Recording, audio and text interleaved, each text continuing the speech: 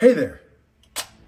Thanks for tuning into Duckbricks. I'm Chris, and after we just got the brand new LEGO Ideas Polaroid camera this month for LEGO Ideas, the next LEGO Ideas set is already ready to go, launching February 1st, 2024. And that is the Red London Telephone Box, which has just been announced by LEGO right now, and I can't wait to dive into all the details of this $115 large-scale rendition of a London Red Telephone Box, the classic one that you will see along the streets of London. It's a really interesting set at a very unique scale, and I can't wait to jump into it. And so, let's jump on over to the showcase.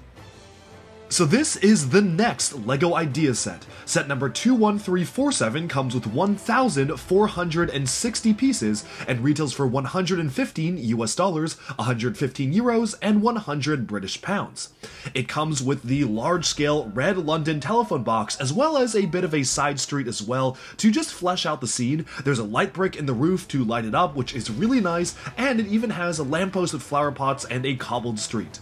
Now this actually was designed by John Cramp, who is from England, which is really cool as part of the LEGO Ideas program, which totally makes sense because, of course, you design what you know. And it's really interesting because, once again, in the tradition of LEGO Ideas, they are celebrating the 100th anniversary of the London telephone box. I did not even know that was the 100th anniversary this year, but as it turns out, that seems to be why they specifically picked it to celebrate the anniversary, again continuing the trend of LEGO Ideas sets being centered around some sort of an anniversary in one sense or another.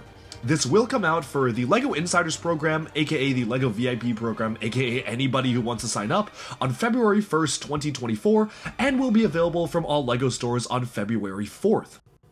Taking a look at the LEGO set itself, it is a large-scale LEGO telephone box, and I'm very curious what it will look like next to the large-scale LEGO Technic figures that they did back in the 90s.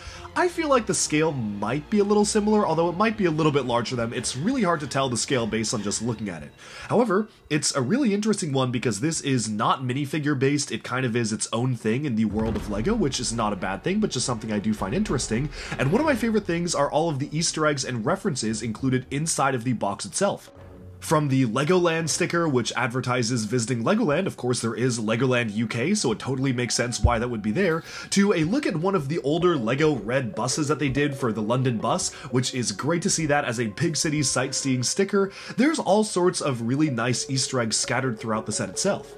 One thing I find honestly a little perplexing is that they show that it's a phone stand as well, and they really try to like advertise that in the marketing, although I don't really understand why that would be useful as a phone stand. Like, I guess you can put your phone there, but a lamppost is also going to be in front of it, so it's not like you can really use it to watch movies or something. I guess it's a place where you can put your phone. It's just kind of a weird thing to highlight in the marketing. Not a big deal, but just something I found kind of funny. I also do, however, like a lot of the other little bits and pieces of the details included in the set itself. There's a reference to the LEGO Ideas Jazz Band, which actually has one of the jazz trumpets placed on the sticker itself. There's also a reference to the LEGO Ideas typewriter, so that's pretty cool, as well as just some quintessential British stuff like tea time and hats and whatnot being showcased on the stand itself.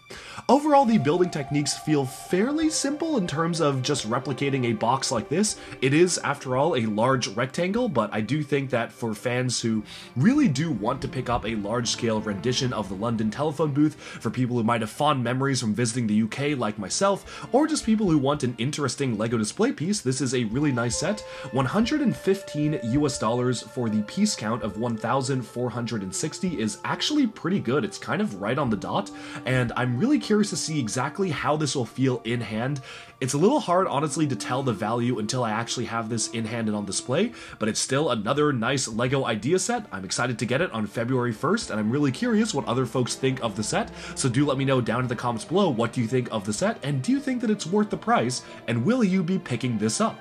I hope you enjoyed our special look at the brand new LEGO Ideas London telephone box, and stay tuned for even more coming your way soon. Alright, and with that, we have summed up our look at the latest LEGO Idea set. Let me know down in the comments below what do you think of the set. Do you like it? Do you dislike it? Do you feel like it's worth the price? And do you feel like it is a good rendition of the source material, aka the original LEGO Ideas project? Thank you so much for tuning in to Duckbricks. Be sure to like and subscribe for even more LEGO news, reviews, discussion, and analyses coming your way very soon, and bye for now.